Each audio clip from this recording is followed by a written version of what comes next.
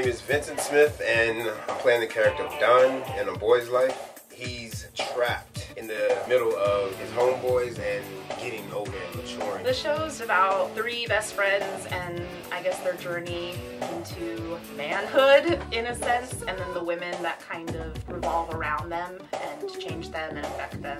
Lisa starts a relationship with Don, who she falls in love with, and it's kind of a relationship that really makes them grow up into adults and who they want to be and, and who they want to settle with. It chronicles these three guys and their various struggles with relationships with anybody.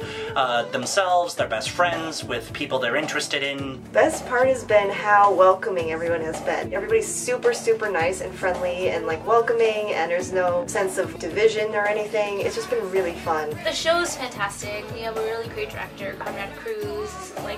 First show.